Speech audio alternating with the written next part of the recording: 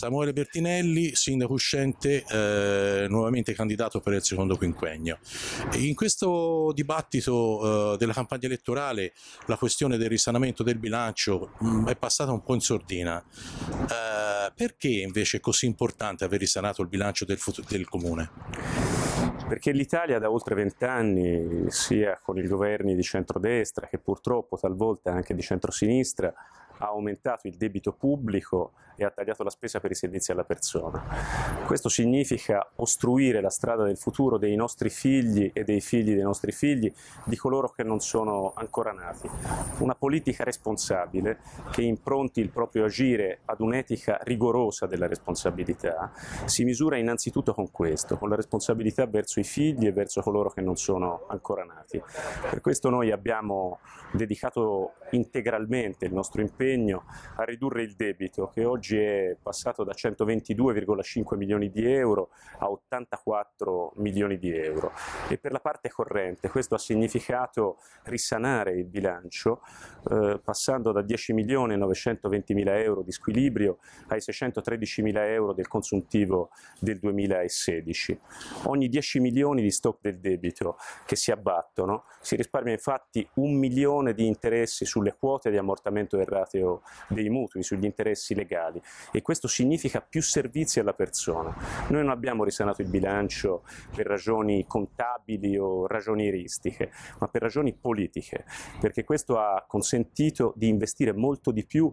sui servizi alla persona. Abbiamo speso oltre 800 mila euro di più per le politiche sociali, abbiamo speso molto di più, quasi un milione, per l'istruzione, per l'educazione, per i nostri servizi educativi in particolare e abbiamo speso più del doppio della media nazionale per le politiche della cultura. Anche questa è la ragione per la quale Pistoia è divenuta la capitale italiana della cultura, che non sarà soltanto un'occasione straordinaria di visibilità della città, ma soprattutto un ponte gettato verso il futuro remoto della città, per innescare un nuovo processo di progresso non solo spirituale, civile e culturale, ma anche e soprattutto economico e sociale. Lo slogan della sua campagna elettorale è continuiamo a cambiare insieme. In quel continuiamo c'è una, eh, la messa in campo di, di, progetti già iniziati e che nel prossimo quinquennio andranno a compimento. Poi ci sono anche progetti nuovi che eh, possono essere realizzati grazie al risanamento del bilancio. Pistoia sta già cambiando profondamente, questi sono stati anni di semina e stanno per venire le stagioni della raccolta. Eh, Pistoia cambia perché in questi anni abbiamo sciolto tutti i principali nodi urbanistici della città, a nord-est nell'area Pallavicini, a sud con il ribaltamento della stazione, con la nuova Esselunga, con un parco pubblico di 15.000 metri quadrati, con il nuovo raccordo tra la superstrada e la rotonda di Porta Nuova che oggi diventa davvero la quinta porta d'accesso alla città, restaurando integralmente la stazione centrale. Siamo intervenuti ad ovest consentendo finalmente di avere una conformità urbanistica piena per un tracciato di prolungamento di via Salvo d'Acquisto che offrirà un'alternativa d'uso al viale Adua che così diverrà finalmente un viale di quartiere ricco di servizi, di interesse collettivo, importante non solo per quei 18.000 cittadini che abitano lungo quella arteria stradale, ma per l'intera città. E lo abbiamo fatto risanando il torrente brusiliano, restituendo alla città il bosco in città, che sta diventando uno dei parchi pubblici più grandi d'Europa. E così abbiamo fatto risolvendo questioni annose, penso alla vicenda della questura, della polizia stradale, della prefettura. Da oltre vent'anni si discuteva della inadeguatezza della questura sulla sede di via di Macallè, su un ponte assolutamente inadeguato anche per la inidoneità relativa di quell'immobile ad accogliere non soltanto i lavoratori ma anche tutti i cittadini, tutti gli utenti di un servizio così importante. Oggi abbiamo una sede nuova, bella, moderna, questo vale anche per la sede della Guardia di Finanza. Da oltre 25 anni se ne discuteva, la Guardia di Finanza era in immobili privati, in affitto, oggi ha una caserma straordinaria nella zona sud della città. Abbiamo adottato il piano urbano della mobilità sostenibile, abbiamo già cominciato a pedonalizzare piazze importanti della città, abbiamo liberato posti auto, penso a quello del parcheggio dell'antico ospedale che oggi sta trasformandosi in un'area nuova, moderna, utile per la salute di tutta la città abbiamo ridotto di quasi la metà le partecipazioni del comune, liberando anche in questo senso risorse importanti per i servizi pubblici alla città ed il risanamento del bilancio sta già consentendo di dedicare molte più risorse alla manutenzione ordinaria e straordinaria della città. Con lo sblocco delle assunzioni che finalmente dopo quattro anni di blocco abbiamo avuto alla fine di ottobre, inizi di novembre dell'anno scorso, abbiamo già assunto 28 dipendenti. Proseguiremo su questa strada in particolare per avere stradini e giardinieri, perché è necessario che ci sia un salto netto nella manutenzione ordinaria e straordinaria della città, nella pavimentazione delle strade, nelle nuove bitumature, così come stiamo facendo con 28 strade anche in questo momento, dopo quasi tre anni di investimento di quasi un milione all'anno per la nostra rete stradale. Oggi con il bilancio risanato possiamo e dobbiamo proseguire in questa direzione. In questi anni abbiamo soprattutto investito in politiche per i servizi alla persona, abbiamo dato vita finalmente al consorzio della società della salute con tutti i comuni, dalla Betone al Serravalle e con l'azienda sanitaria. E abbiamo moltiplicato i servizi, ve ne sono di nuovi che prima non c'erano, per donne soli con i loro bambini, per bimbi maltrattati, pluriabusati, abbiamo riaperto raddoppiandolo l'albergo popolare, abbiamo introdotto nuovi servizi davvero molto significativi per consentire alle persone di camminare con le loro gambe, con un progetto per la inclusione sociale e lavorativa. Soltanto l'anno scorso abbiamo offerto l'occasione a 17 cittadini utenti dei nostri servizi di ricominciare a camminare con le loro gambe, trovando eh, occasioni di lavoro, avendo contratti di lavoro a tempo indeterminato. E abbiamo investito molto nell'educazione, nei servizi. Molte città in questi anni, anche di centrosinistra, anche vicino a noi, in Toscana, hanno messo sul mercato, esternalizzato questi servizi. Il complesso dei nostri servizi educativi invece fa onore non da oggi alla città e ci consente davvero di essere ogni giorno di più comunità educante, perché si è cittadini fino dalla nascita, non soltanto quando si va a votare. Proseguiremo nella innovazione del welfare, in politiche della cultura, del sapere, intese come diritti di cittadinanza e soprattutto daremo una prospettiva alla capitale italiana della cultura per innescare davvero una nuova stagione di crescita, di fioritura della città, una città che sta già accogliendo il mondo, si potrebbe dire, una quantità enorme di turisti e che anche per questa via potrà trovare la strada per nuova e buona occupazione. Qui siamo al Ceppo, ex ospedale.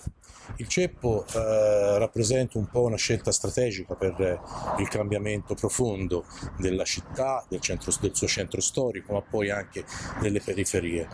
Eh, perché è così importante eh, l'intervento sul ceppo e in sintesi cosa si prevede?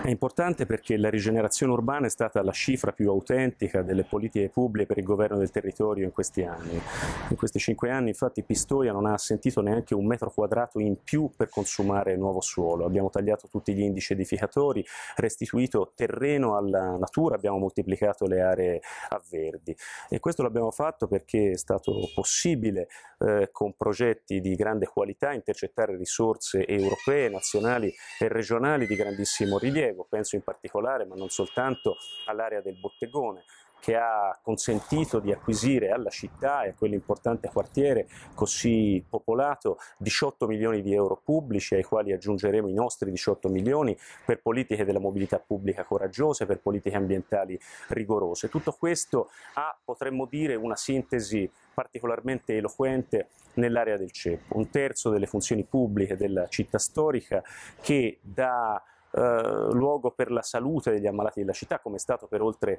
sette secoli, dopo aver spostato nel luglio del 2013 l'ospedale nell'area sud, nei tempi previsti, unica città della Toscana, si sta trasformando per divenire un quartiere di stampo compiutamente europeo, cioè un quartiere ad emissioni zero, ricco di verde pubblico, ricco di funzioni pubbliche di pregio, con poche quote residenziali importanti, di qualità, e soprattutto con il più importante polo museale della città, con spazi per il co-working, per le start-up di impresa giovanile, con il centro di documentazione Michelucci, con la Casa della Città, che sarà il luogo per la partecipazione attiva di ogni giorno, non soltanto per la gloria di qualche giorno, di tutti i cittadini pistoiesi che vogliono partecipare e che potranno farlo meglio grazie anche ai contratti di collaborazione che abbiamo reso possibili grazie a un nuovo regolamento per la partecipazione e l'amministrazione condivisa dei beni comuni, perché la partecipazione civile diffusa, democratica, sia sempre più la cifra caratterizzante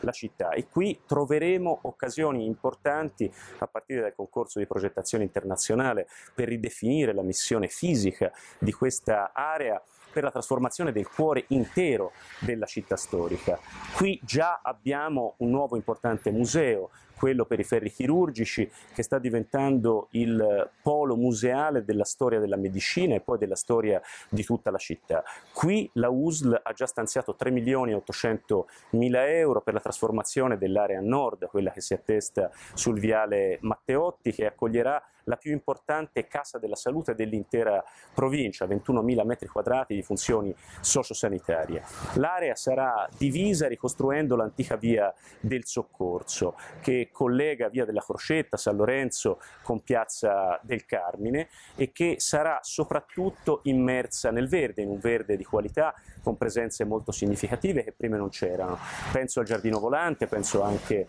al giardino del padiglione Modialisi, penso al giardino che sarà la copertura dell'attuale parcheggio su Viale Matteotti, un giardino pensile di grande qualità, ma penso soprattutto alle prossime demolizioni che stanno per iniziare con 5 milioni di euro che già abbiamo conseguito intercettando risorse europee molto significative, 6 milioni e 2 oltre i 5 milioni di euro, ricostruiremo molto meno di quanto andremo a demolire, demoliamo oltre 8 mila metri quadrati di superficie e ne ricostruiremo soltanto 4 mila. Gli altri 4 mila saranno anch'essi restituiti ad un grande parco pubblico perché questa diventerà un'area integralmente pedonale, vissuta, viva, davvero eh, ricca di servizi. Questo riporterà anche nella città storica importanti funzioni direzionali, perché la città vive se invertiamo la rotta, come abbiamo cercato di fare in questi anni e sempre più faremo nei prossimi, circa un relativo impoverimento del centro storico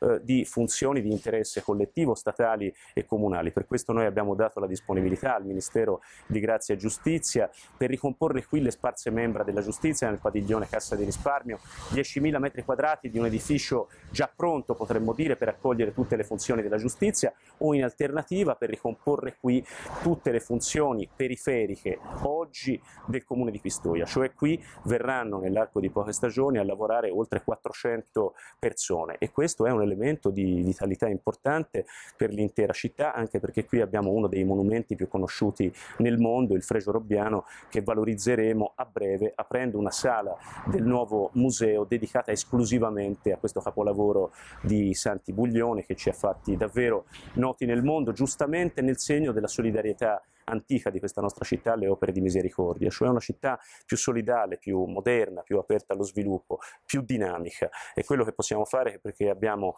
tanti servizi alla persona importanti, perché abbiamo appunto risanato il bilancio, perché stiamo investendo in infrastrutture molto significative, dall'asse dei vivai alla strada interquartiere a nord, al prolungamento appunto di via Salvo d'Acquisto. Da qui potremmo dire parte una nuova stagione di progresso e di civiltà di una città civilissima come Pistoia straordinariamente aperta al mondo. Il timore un po' diffuso è che il 31 dicembre prossimo si spengano le luci del mondo sulla città eh, e quindi si torni un po' indietro. È passata eh, l'anno di Pistoia Capitale,